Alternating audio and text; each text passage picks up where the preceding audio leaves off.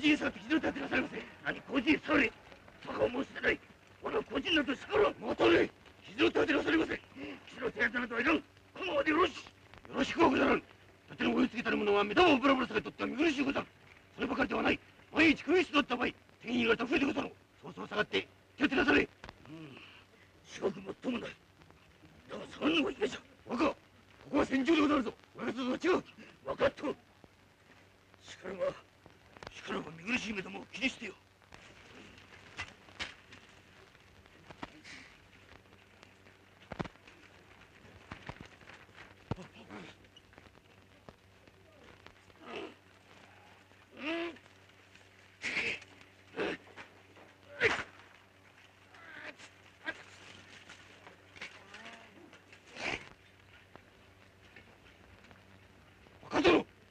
しきの傷でおらしともとも何事でござる。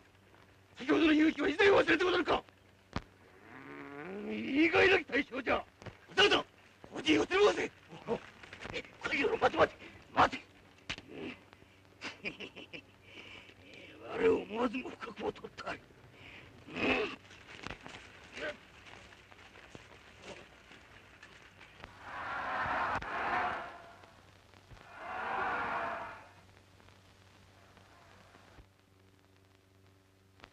ら申したではないか貴殿がおそばにいながら何たることにして政宗怪我のあまりの痛さに気を失いかけられましたので意外なき大将かなと勇気を出たしめるべく申し上げましたのに我を思わず不覚をいたしたと仰せあって凛々しくお立ち上がりなされました。その勇猛さに居並ぶ者どもただただ驚嘆いたすばかりにござりました。今朝ほどはどうしておったか？あ一向ひるむご様子もなく角田城にて陣馬を少し休めたならばすぐさま小西へ向かって前進すべしと至極ご元気に見えましてござります元気にそうか元気にしておったか。殿何とぞこの締めを拡大用へお差し向けくださいまし。何と申す若殿は勝ちに乗じて一気に古祭まで進もうとなされてでござるがこれはかえって敵の実中に落ちるものと申さねばなりますまい。脅し若でもあり草場の数も多少ござるで我ら眺めて危うさを感じられます。お世継ぎなれば法人へお下げあって傷手当てをいたさねばなりますまい。角田城は姫が変わって守るでございます。なるほど。それもよし。しばらく。お言葉ではござりまするが若殿には後陣へお下がりなさるまいと存じます。桜叔父以前は若殿ご幼少の頃よりおそばに従いながら若殿の恩義のことども少しも考えられ万一のことあらば敵に乗じられるは知れたこと。お田上様小十郎若殿ご幼少の時より付き添うてまいりましたればこそお下がりなさるまいと申すのでござります。我らはばかりながら若殿ごさて申しましたるは名字聞きおじなさらぬようあっぱれ本大将としての嘘を作るべく苦労を得てまいりました。我ら眺めて少しの危うさも感じられません。おだなぎ様交代なさるって本当ですかね？本当らしいな。若殿が後陣へお下がりとのことだお気の毒に。嫌じゃ誰が何と申しても俺は嫌だ。俺はこの通りどこも悪いとこはないではないか。おだなぎ締めのような白髪頭着てどうなる？どうなるのだ？お前たちは俺を後陣へ下げて自分たちもともとも下げたいのか？戦いに疲れたのか？いえ決して。ならば俺だけを下げてお前たちは白髪頭と共に前進しようというのか？そんなことは。俺を下げる理屈がどこにある？少しの怪我にひるんで下がっていては士気は乱れる。大きな戦を全うすることはできん。俺は下がらんぞ。白髪頭など交代することは断じて嫌じゃ。申し上げます。お団子姫様ご入場にござります。ええうるさいは追い返して追い返してしまえ浅村下がらんと言って追い返してしまえ若殿大殿様のご命令にござりまするぞ。小田薙殿を入場させるわけには参りますまい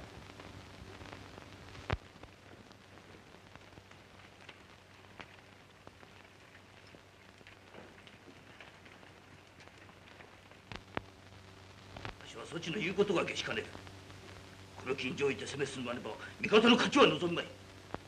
戦は勝って勝って勝つにある。しかし敵は一旦負けて後に加藤の戦法を持って構えておる。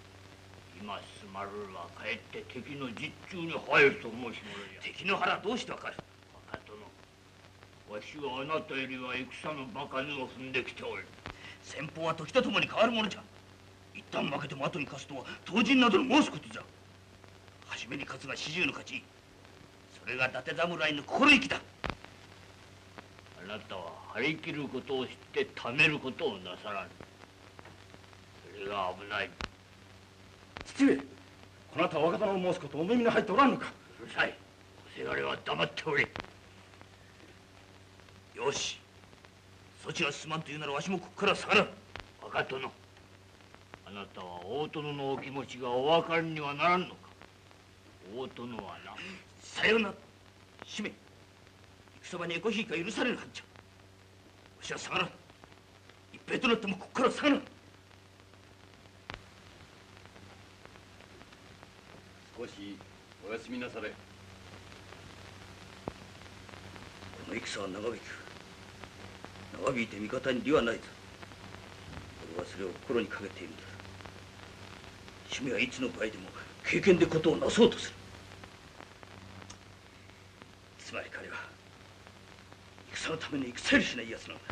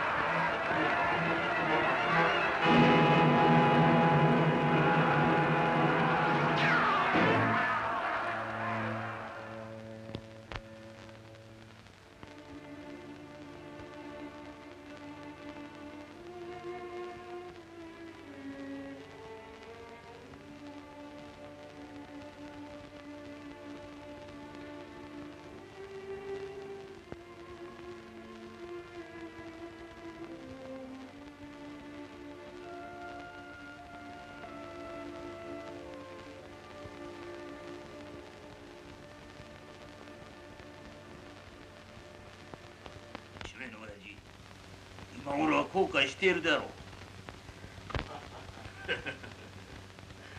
風邪でもひいておらぬか見舞いに行ってこい。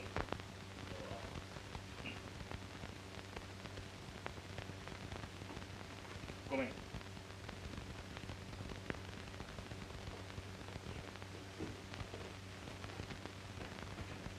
織田に姫様ご名代としてまかり越してございます。何用でござる？若殿お風邪を召してはござらぬか見てまいれとのことでご機嫌を伺いに参上いたしました。締めはどうしておるは至極お元気にて今朝ほどは腹ごなしにと申して弓敷いてでございました。年寄りの冷や水はよせと言ってやれ。は。政宗意気込みのおかげで味噌一文字はうまくなったとついでに伝えよ。ごめん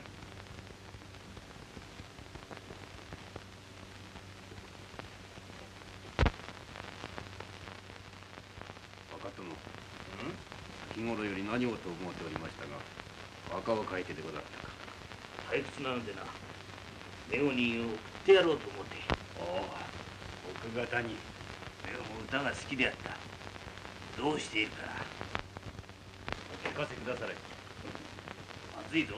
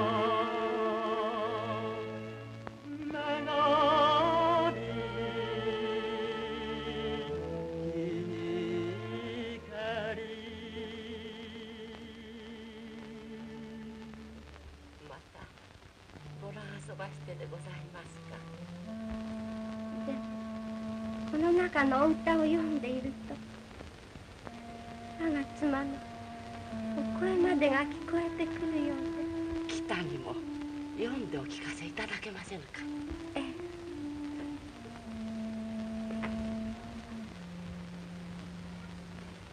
ある時はあるに任せてんとけれど亡き後と草枕か雪も溶ける頃でしょう。おいたわしゅうてなりません。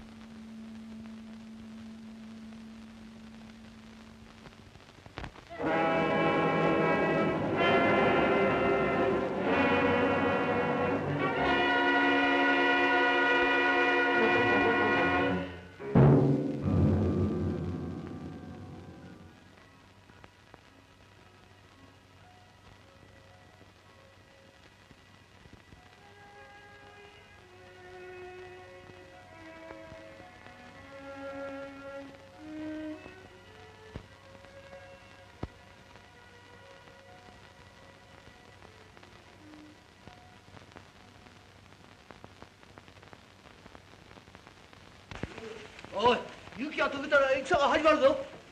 まあ丈夫か。よよく調べておけ。締めも長年気思いでとうとう顔って出陣か。右京房は先手を打たれると申して準備を急いでおります。手遅れだ。相馬の方でも同じように備えをしているであろう。今こちらから仕掛けては戦いでやらんだ。何を今さら若殿。小田内殿はこの13日を期して小西へ攻め入るそうです。今も言ってるところだが遅い。遅いというよりはむしろ無駄だ。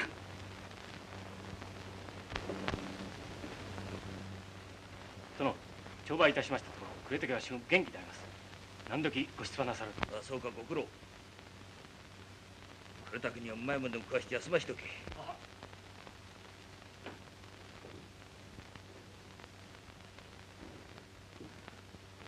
小十郎この戦のりはどうもしてやられた形です。わしもそう思う。お言葉でございます。やはり一日も速やかに攻め入ることはいかと心得ますしかし結果は戦のための戦にしかならない。なぜなれば我が軍勢は遠く甲府は40里も離れた土地で雪に閉ざされ心身ともに疲れている。しかるに敵はこの雪ごもりの間に十分陣容を整えたとみなければならない。そうであろう。さよう。あの時あの勢いで攻めるべきであった。締めの石頭め奪ぬことではない。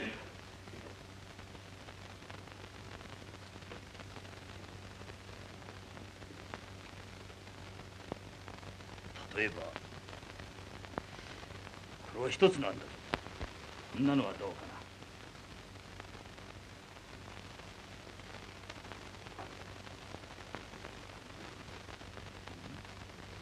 なるやってみるか。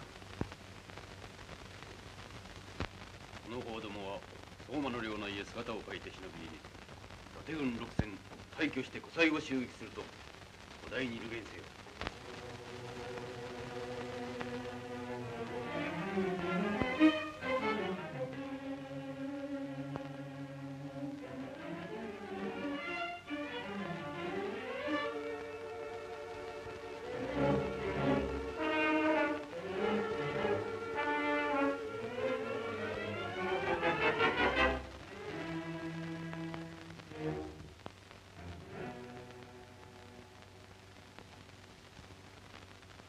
でも伊達軍は6000の兵だというからな。え？それは本当だね。うん。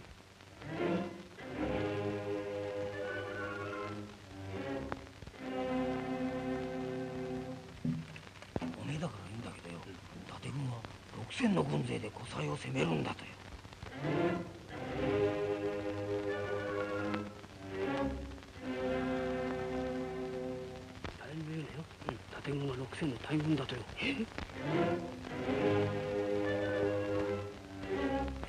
戦の軍勢で湖西城を攻めてくるというね。新たに立った種子島を備えたというぞ。味方は苦戦を免れまい。締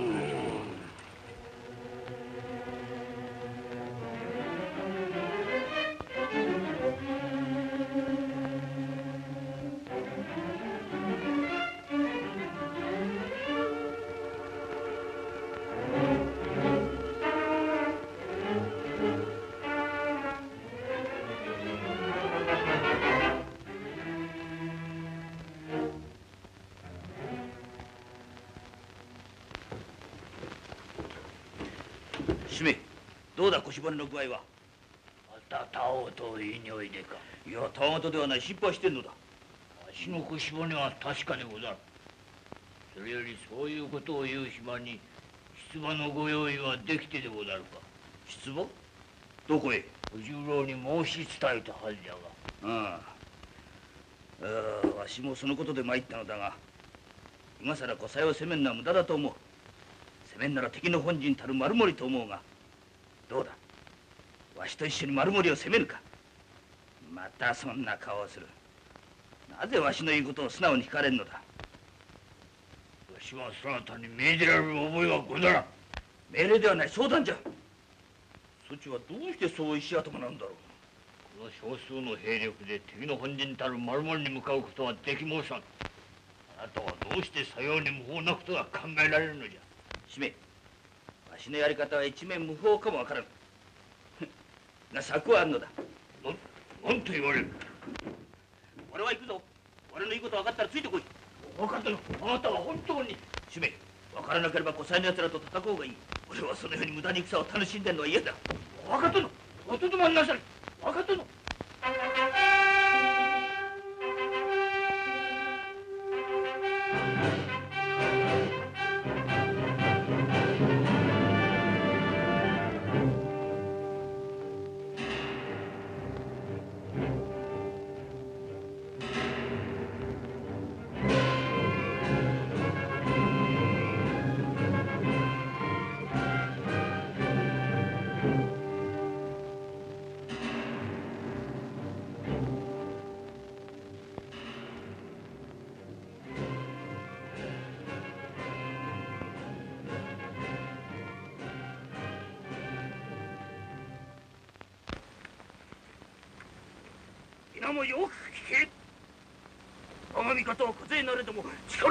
ば何ほどのことやあらん。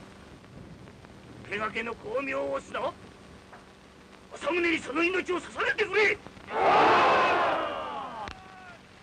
何政宗丸森へ攻め入ったと。かねてより忍びの者が流言に惑わされそのまで古西へ天軍を集中して本陣丸森に手を務めましたれば奇策をもって不意打ちを仕掛けましてござります。うん。次を申せ次をこの時を移さず本陣より古西金山を攻められればお味方勝利疑いなしのことまずはご注視。うん。すぐさま出陣の用意。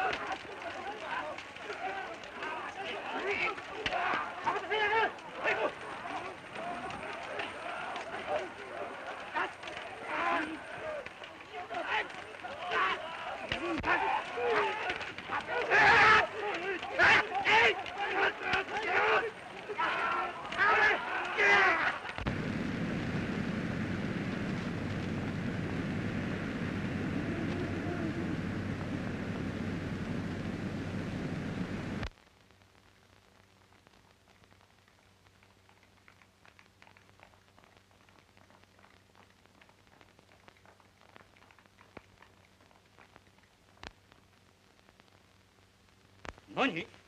政宗の勢が丸森城を攻めたとか。お味方手薄なれば落城のほど計り知れませぬ。うん。図られたか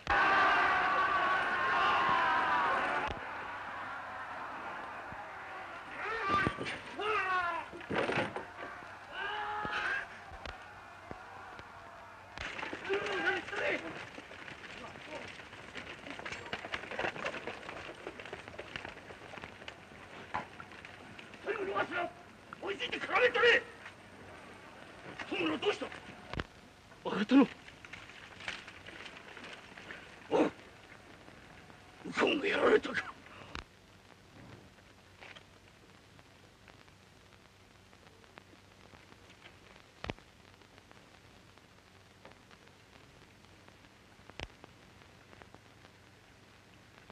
さにはずにもいらねど忠義の死にはむるるものか。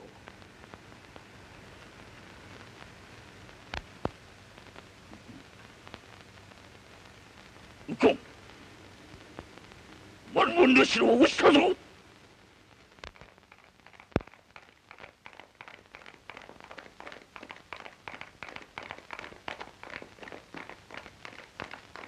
何丸森の城が落ちたというか。はっ。政宗の軍に攻め立てられ味方はそう崩れ。大河内撃は。宗討ち死にいたされました。丸森の城が落ちたからは政宗の勢勢いに乗じて金山中村へ向こうこと出場じゃ。こうしては俺我が本城が危ない。囲みを解いて中村城を守りにかかれはっ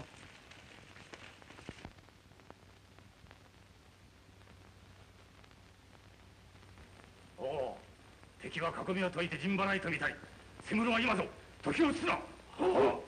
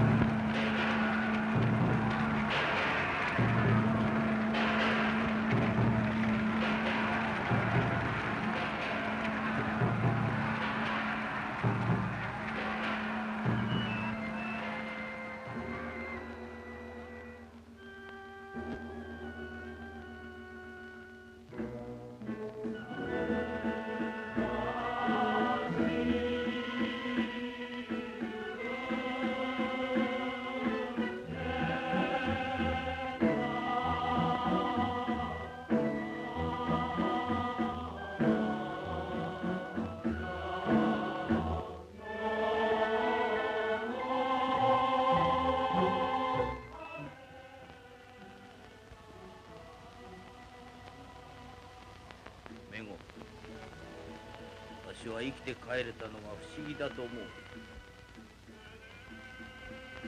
ご分がお強かったのでございます。残光のお御霊がお守りくださったのかもしれんしかし私のなすことはこれからこ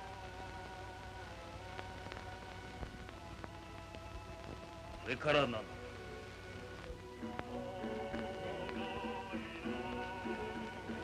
その間のもう泣き止まぬか。泣いたとて今が帰りではなし。あの歌が私を泣かすの。ですほんなら歌の聞こえるところへ三人で行こう。歌の聞こえるところ。あの山の右近の墓の前へだ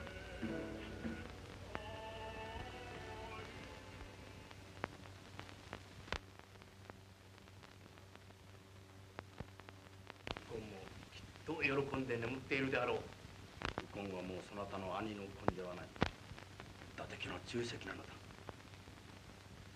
泣きません。泣きません。ここへ来たら気が晴れ晴れとしてきました。そうだ。悲しくなったらここへ来るんだ。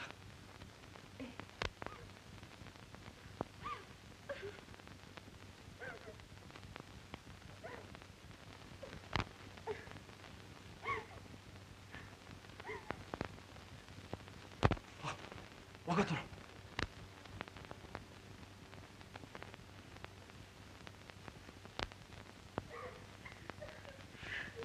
若殿もやはり。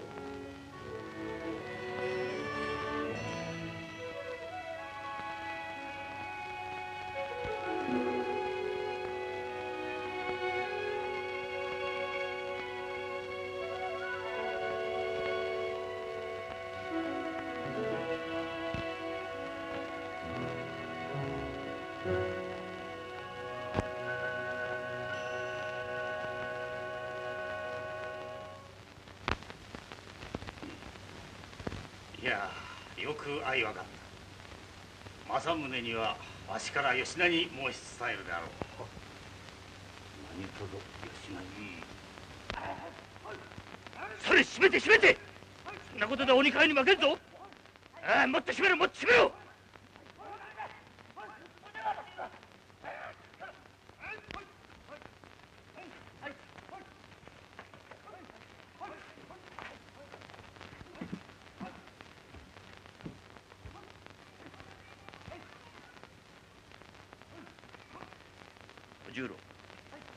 ちは帯びてきたというがそっちはどう思う？刃物も使いようで切れるかと存じます。仙道地方へ進むには彼はぜひ必要な人材だ。宅地を与えて偶すれば切れるか？あよし。パンチ任す。ああもっと閉めろ閉めろたくさんになるまでやれ。人間様が馬に負けるやつあるか？ああ閉めて閉めて。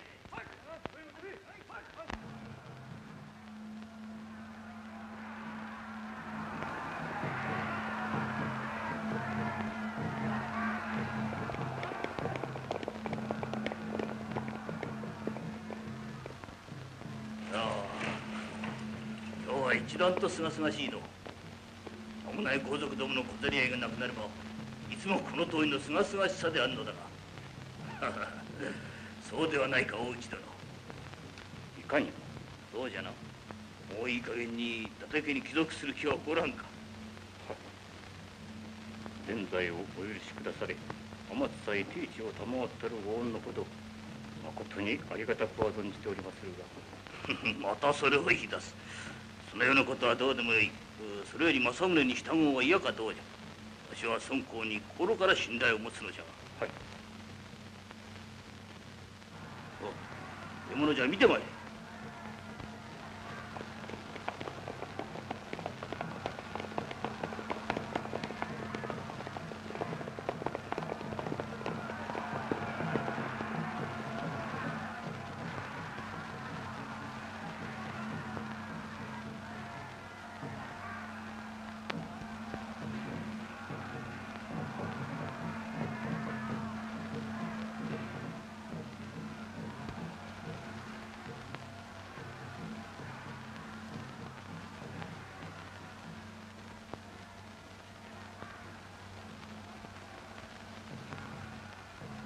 どうじゃな先ほどのこと。一度小浜の城へ戻りまして貴様はなしかと役人政宗の力となってくれ。はっ。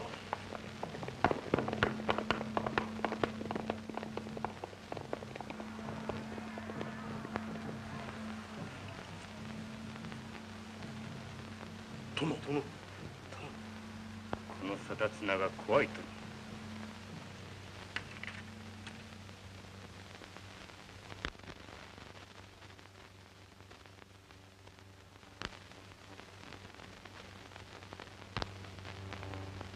詩人政宗もこのほどはまるで恋人でも求めるがごとくまだか。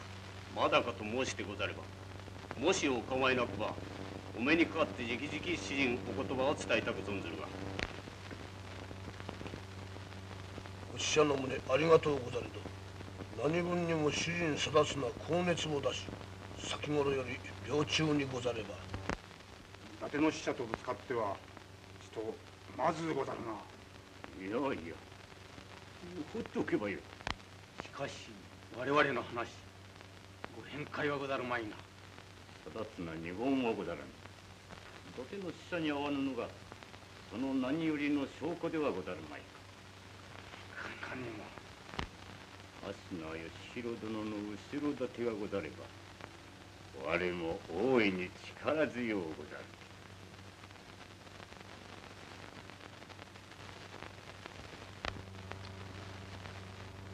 まで待たせるとか。まあ気長がかいやじゃ。でもござるとあまりに。俺待たれよ。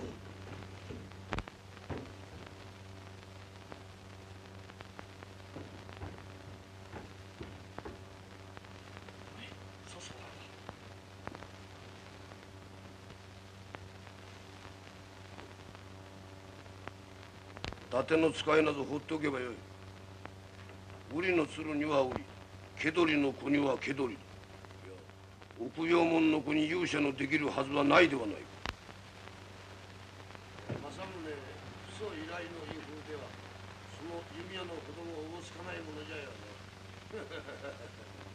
しかしながらもし伊達殿がこのことを知って我に適した時は何となさるいや政宗我に適するは小ネズミが猫を狙うに等しい。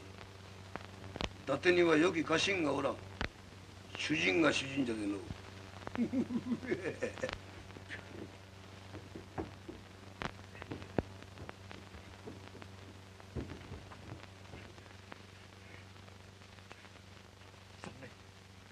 残念でござる耐え忍べ耐え忍べ耐えられること耐えられることがござる君恥ずかしめを受ければ真実でござる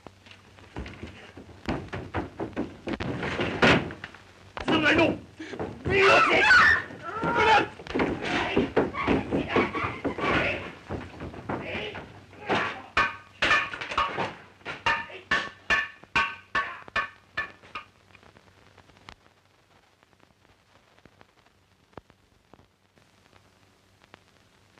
石本内その後その後を申される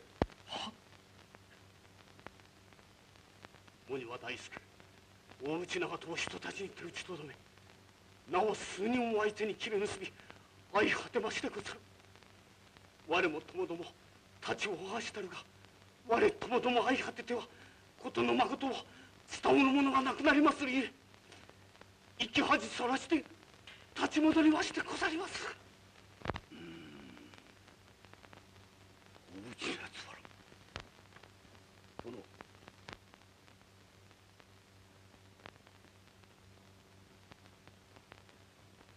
鬼はパレのやつ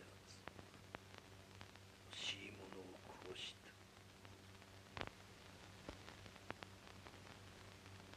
ごめんまだ死ぬでおるわ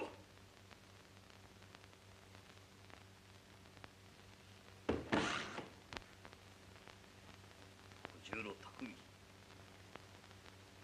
わしの心は決まったでは大内を政宗臆病者という若者もなるその名誉を汚されおまっさい臣下に恥ずかしめを与えられては堪忍だな。小十郎一大の見違いでござりました。心にかける。定綱を我が味方にしようとしたの。は彼は常に大内縁のかく乱者であったからだ。それを我が味方につければ戦乱を太平に導くと思ったがさような手ぬるいことはできん。拉致者を征伐してくれる。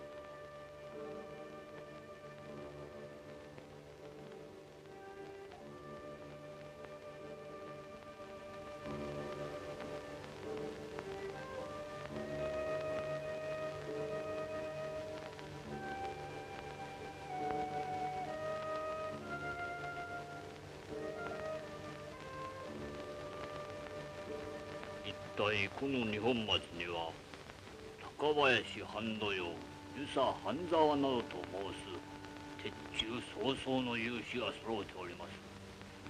二本松を攻めれば必ず城の取れることは明らかではありますがこの勇士を殺すことは何よりも損失でございます。それに味方も大分損傷を被ることは覚悟せねばなりますまい。た今一つはこの二本松と縁石関係にある関東の佐竹が黙ってはおりますまい。手前危惧いたしますはその佐竹が立つことであります。お田殿が言われるごとく攻めて取ることはできましょうが後が難題でございます。だからどうせよという和議ですを敵方に壊せるようにして戦わずして取ること。これがお味方損傷なく済ます第一の案かと心得ワニを壊せるのか？して。ます御館に置かれご決断ならば締めには策がござります。政宗が何と申すかの今度の日本松攻めは政宗の考えにあるものじゃでの御館あなた様はご隠居なされたとは申せ親子でござりますぞ、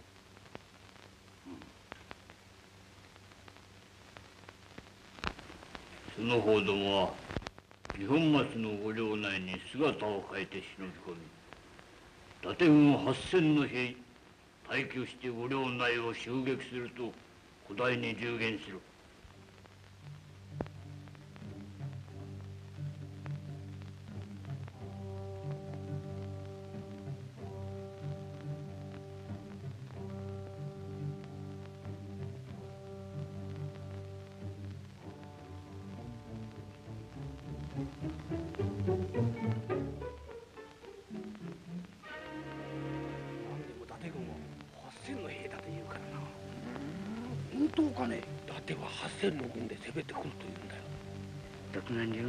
流のやりそうなくっちゃ館は苦戦を免れまい。残念じゃ。残念やな伊達軍八千の兵を率いるというので味方は動揺しているらしいが政宗のやりそうなことじゃ。政宗が常に用いる策でござる。伊達軍何千の兵を率いると我には佐竹という援軍が控えておる。まあまあ待たれ。敵は策を用いるなればこれはその策に乗るのも方法と思う。知って策に乗る？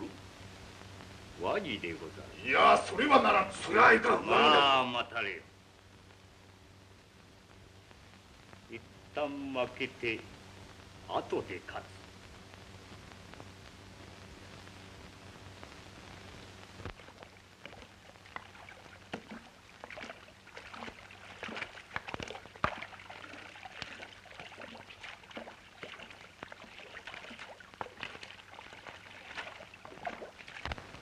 戦は戦と掛け声ばかりで戦は一体どうなったのかい？人頃によるっちゅうと伊達軍の勢いに恐れて日本松や和軍申し込んだっちゅうんだが。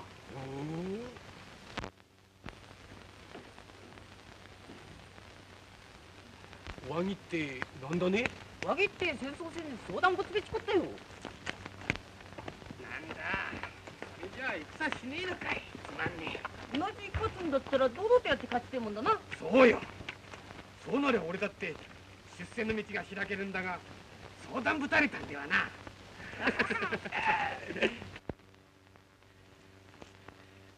畠山が畠山がしてどのようなことを申しました？どのような申し入れも気に入りません。政宗は日本松を攻めてることだけです 姫何がおかしい？何が悪いのだ殿はなあなたが3日4日と城攻めして取るだけのものをただの半時で見事に処置されました。もったいらぬ義経とどのような談合をいたしたのかそれを言え。一つ日本松は皇后伊達の家臣たるべきこと。一つ竹山義継の着手12歳国王丸は伊達に人質たるべきこと。次は次。あなたは他に何が欲しいのかな？畠山の領地をどうする？領地。日本松の城はいつ明け渡すのか？義経はどこに隠居するのか？大内貞綱の所長はどうするのか？まあ待て。お前は主命の申すことが聞こえなかったと見える。畠山は今日から伊達の家臣じゃわしは家臣の畠山を当分二本松に住まわせておくつもりじゃ。お前は領地のことを言うが畠山の持ち領は全部伊達の領地になったのじゃそれを実行させるには国を丸という人質がある。忠義あなたはそのような漠とした条件で彼との和議を入れたのでございますか？はっきりした条件でな。家臣と人質と武士にとってこれほどの屈辱があるまいではないか。そんなことは駆け引きにすぎません。父は義経がこれよく伊達の家臣になりきれると思うのですか。まあ見ておれ。わしは一人の味方をも痛めずに二本松を乗っ取ってみせよう。からその間に義経がどんな策をするか知りません。敵の策を用いれば味方の策を用いるまでじゃ。主命お前が悪いのだ。いつも父上のそばについているお前がなぜそんな生ぬるい条件で和議を結ぶようにさせたんだ？お前は戦いが怖いのか？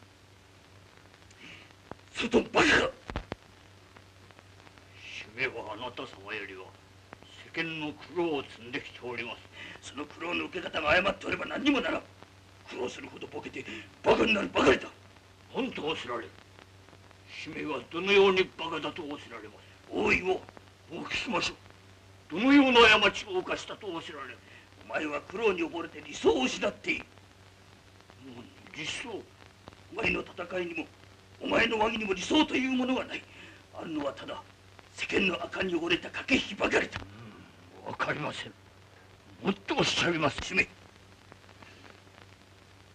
戦は民を休んずるためにするものだ。それが戦の理想だ。理想のない戦は永遠にやむ時はなく従って民が安堵して生きることができないのだ。今度のことでもわしは和議を結んだのが悪いというのではない。理想のない処置が全て嫌なのだ。お前は民を休んずるという。口でそれを唱えるお前が二本松にあくまで戦を仕掛けるというのはどういうわけかわしが戦を避けて義経の和議を入れるということがどうしてお前の気に食わんのじゃ？父上違います。理想を戦は戦をなくするための戦はできるだけ瞬間過小であらねばならんのです。それをせずに目的を遂げられたらなお立派ではないか。違います父上。何が違う？伊達家は祖先以来立派な気概と精神を持って戦ってきた家でございます。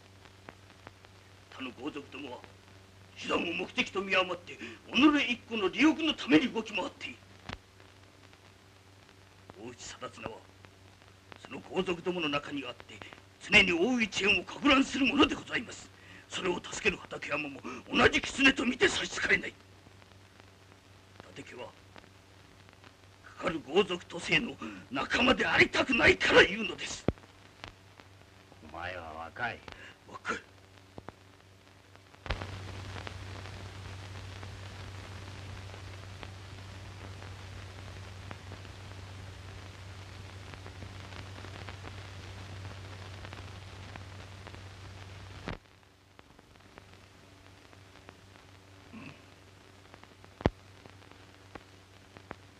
そうですか父上。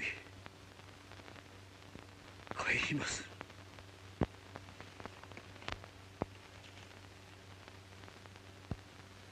使命わしは二本松の和議申し入れにはどこまでも承服がならんぞ。分かっとんの分かっとんの使命はバカ者で終わりませんぞ。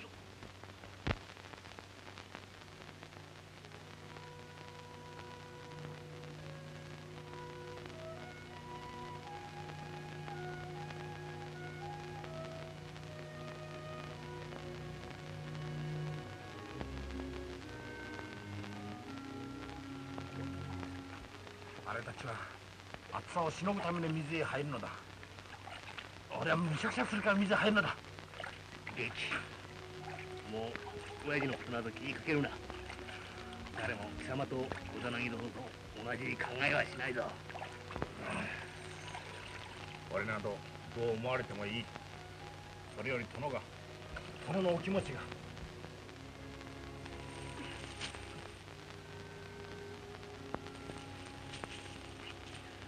道路元気。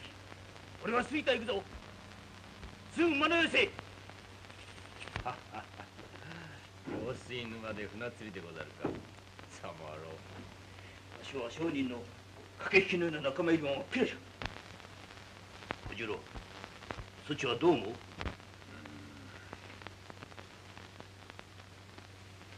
臭いものには灰がたかります。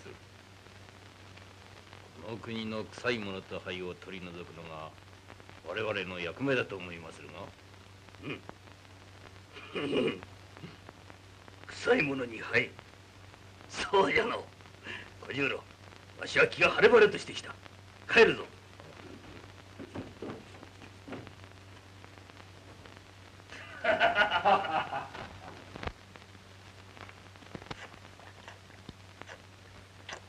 俺は和議がどうあろうと。して兵は引かぬつもりだ、うん。あくまでも戦うぞ。戦がねえちゅうとがっかりだな。一番願って家でも帰らせてもらうか。そうもなるめえが。なんとかせんことには体が腐っちまうよまったく。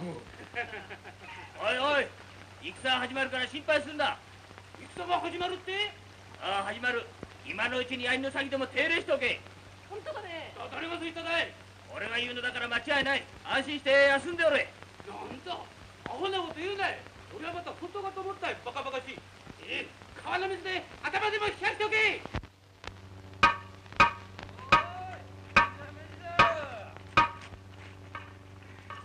またメスかまあメスに追われてるようだな。働かずに食うメスは腹にもたれていけねえ。あの戦始まるって本当ですか？誰がそう言った？今川っぷちで聞いてきました。川っぷちでええ。戦始まるぞって言いましたで本当かねえって言いましたら俺が言うのには間違いがねえどんな野郎だった？そんなこと抜かすやつは固めの変な野郎でしたよ固めの？えおおめえ大変なこと。えなんです？独眼竜って何だか知ってるか？からかっちゃいけませんよかしら独眼竜を知らぬ。おめえ何か無礼なことを。え言ったか。ちょっとだけ。何と言った。アホなことを言うな。川の水で頭でも冷やしとけって申しました。とんでもねえこと。ここれは切腹。腹けむんでおばあちゃん何じ小田内劇さんをお呼びでございます。そらおいでなすったお前が道場橋の味修兵衛というのは。はいはいはい。その度はどうも。戦争がのうて造兵ども気が緩んでおるであろう。はいはいはい。どうもその。そこでじゃ。はいはいはい。その仰せあるははい。造兵どもの用水沼付近の荒れ地を三十丁死を開墾して杉の苗を植えようとのご命令じゃ。はい。ただし戦始まる時は直ちに部署に帰って用意する。ことよいか。はいしかと申しつけはいはいはい。では切腹は？切腹はいありがとうあありがとうございま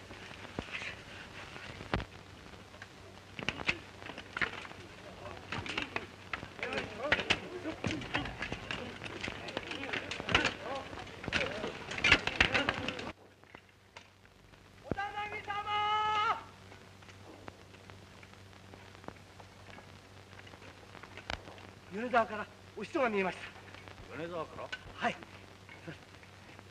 ああその江戸のか。織田波様。おこれ殿のごじゃんじゃ今日その絵か。よく来たの。陣中見舞いか。はい。戦がないのでさぞお気づかれのことと存じましてお見舞いに参上いたしました。お殿様この牛の背のものは私どもがこしらえました。あんころ餅とそれから家で作りました。練り酒でござります。どうぞ皆様方にお分けなすって。いやありがたいありがたい。そはよ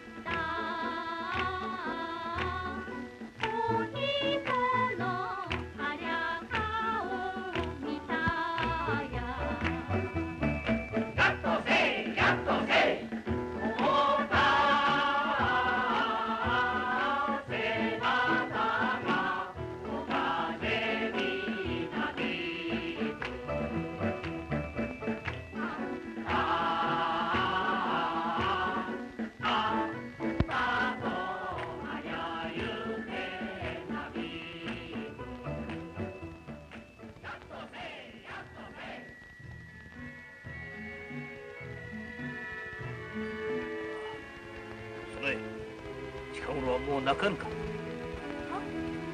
あの頃はよく泣いたのいや無理もない。今は無双のつわものだった。おお前にとって大事な愛ならわしにとっても大切な家来であった。どうだその絵？政宗が兄に代わって良いのを一人世話しようと思うが。ご冗談を。真剣だぞ。うーん劇はどうだ？殿。それは。二人ともまんざらではあるまい。今もあの世で幼なじみの劇とその絵が結ばれたと聞いたらさぞ満足するであろう。その間殿殿はからかっておいでなんだよ。バカを申すな。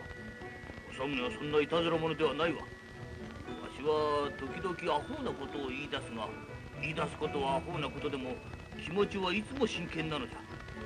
どうだその絵ません。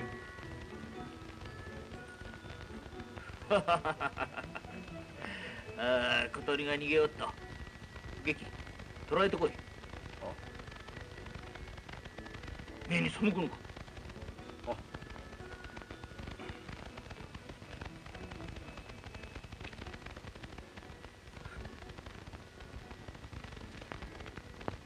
いやよく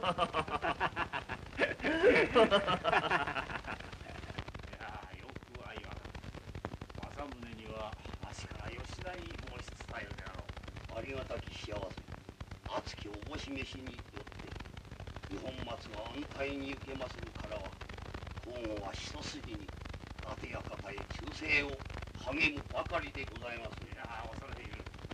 まずは重ねて今一献。もはや時刻も過ごしましたればこれにて。いやそれはいか。んさあえー杯をいただこう日本松城主畠山殿への礼儀は決まりずばこのわしが世上の物洗いと間一献ごして杯をいただきたい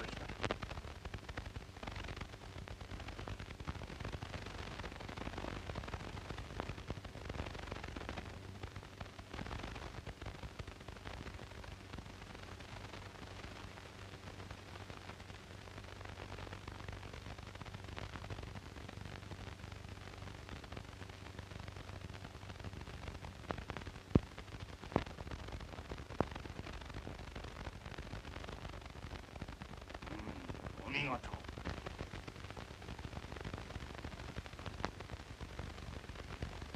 手塚らごめん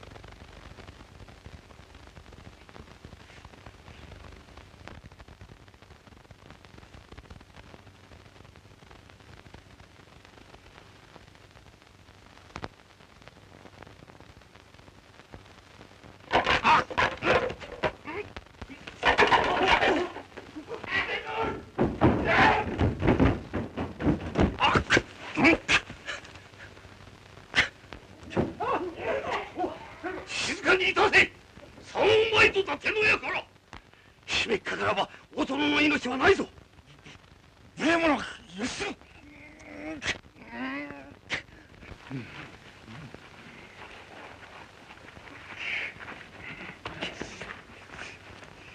政宗の小せがれにそう申せ老いぼれの胸元を貫くのが覚悟なら後を追ってこいと。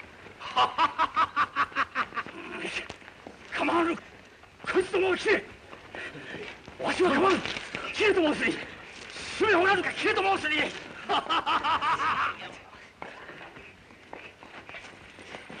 ならん手出しはならん手出しはならんおじけたか。ななぜ聞かん殿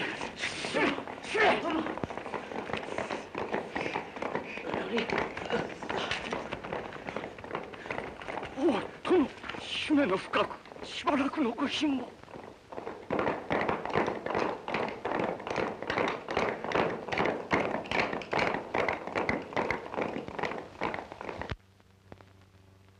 そうべき人は木を切ることをやるが木の苗を植えることを忘れるものだ。ここに植える木の苗が今に大きな大木となって杉並木を作るかと思うと楽しみなものではないか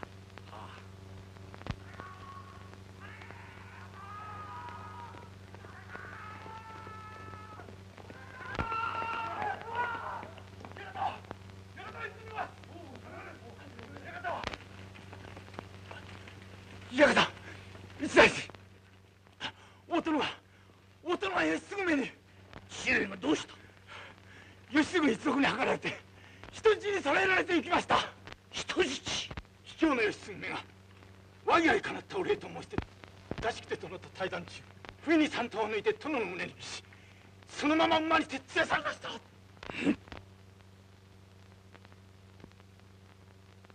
かなお父上劇俺は大津阿武隈の河原で追いつけようマイキーマンバうんマルモルは続けついてこいうん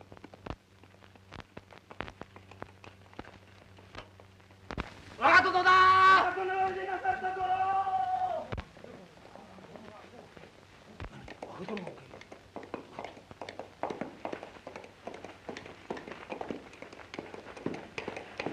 しめ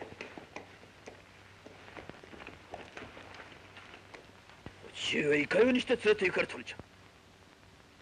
姫の深く世のことを言うな即答せよ。はい。本手を爆され義継めの馬に担ぎ上げられまして。して人数は？悪名。時刻は？今しらと。よし。この道だな誰か飛び飛ぶ表我が殿大手はなりません。えー、どけいい大手はなりません。大手はなりません。主命の言葉か。それとも義継めは殿に気概を加えはいたしません。ただキャツの欲しいものはえー、黙れ父上を人質し武士にとってこれほどの屈辱があるか。どけどけいえいけません殿を取り返すことはなりません。さもないと殿のお命が。バカ者めわしが取り返すのはもはや父上ではない。だけに対して侮辱を取り返すのだ。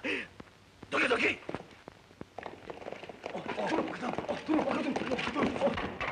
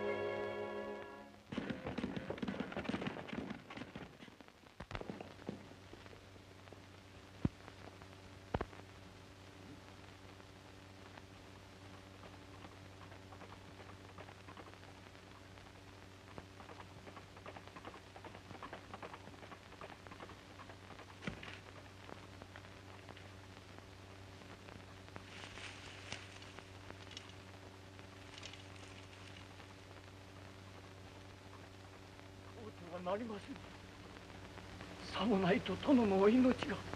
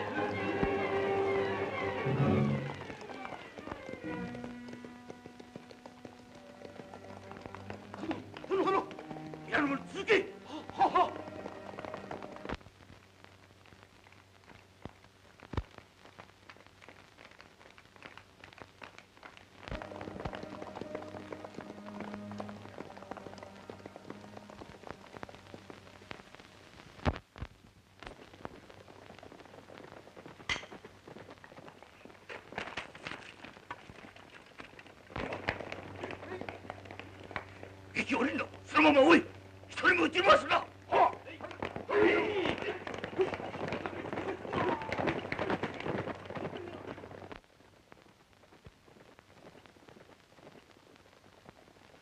姫。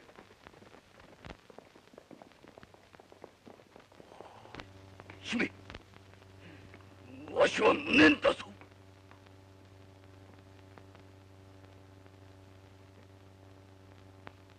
皆の者俺は敵を追う東五郎はっマギ住田マギかおい。金八息子の六名を一つもに来い。その他の者はここ離れることはならんぞ。姫後を頼むぞ。父上の運命は政宗のいたしたところ。そちは死ぬことを許さんぞ。姫の者を俺に続け。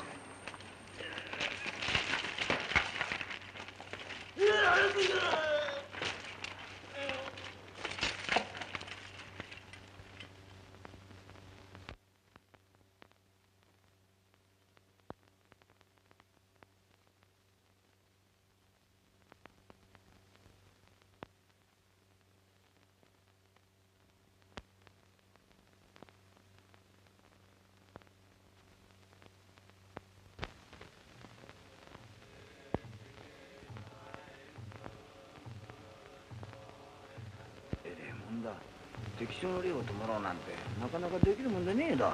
そうだよ。伊達様なことだ。それにしても大友様はお気の毒なことをなされたね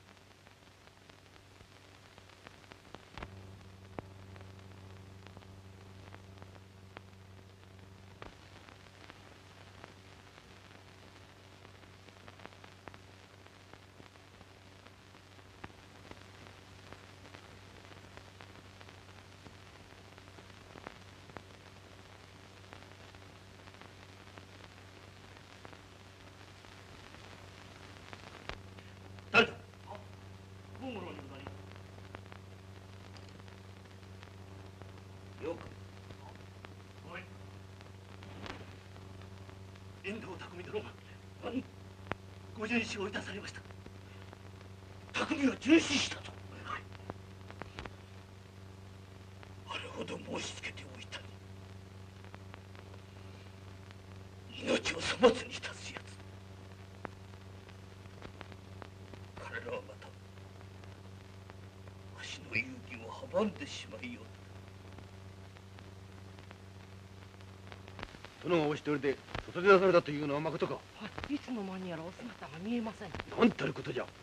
足と先の忍びの者が城中へ入り込んでおるから。危ない。成谷殿はいずれじゃ。弓の間に。うん。そうそうお探し申さねばならぬ。そちも手配いたせ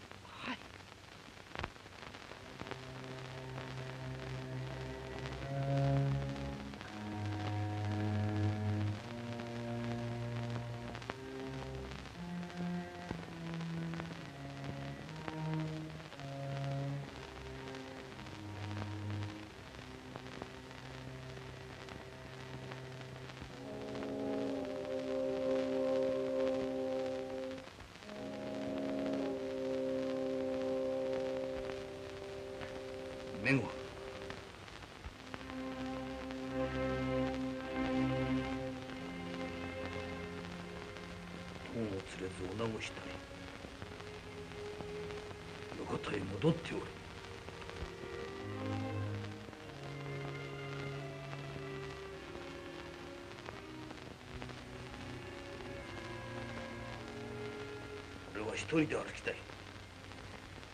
館へ戻っておると申す。殿。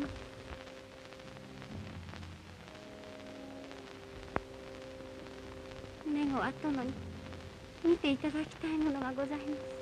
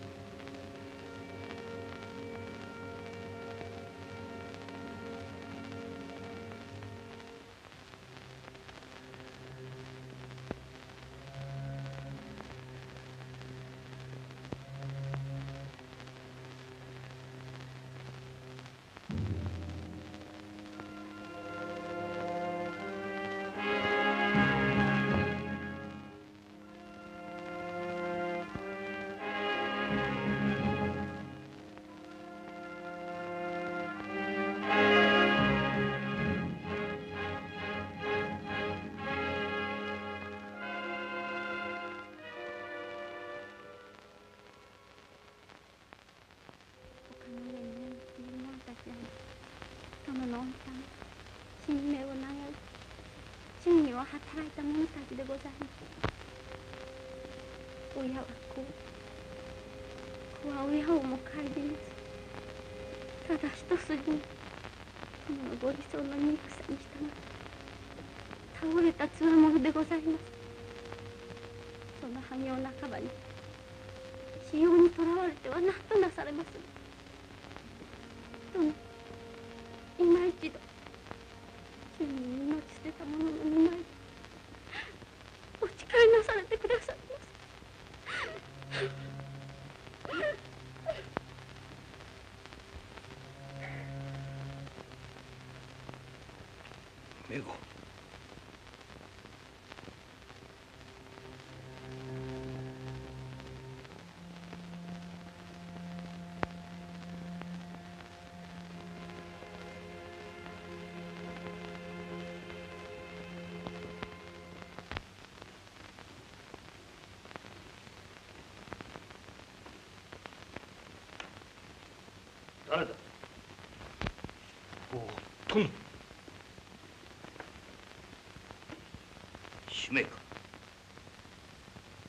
何しにそれにいる？殿おいとま賜りと存じます何？大殿亡き後おめおめ白髪首の生き恥さらしとは存じます。様はならん。殿あなた様はこの姫を生殺しにして苦しめようとおっしゃるか。それは無慈悲でござりましょう。姫そちは政宗に忠誠尽くすが嫌か。嫌か。嫌でござります。なぜ？私はあなた様に立てついたものでござります。あなた様の命に従わなんだものでござります政宗は伊達の主だとそれでも嫌か。嫌でござります。バカ者め。主命そちは伊達家の臣ではないのか。主上だけの臣か。ん？伊達の臣なれば父上の弔い合戦に臨んで立派にそこで討ちにせよ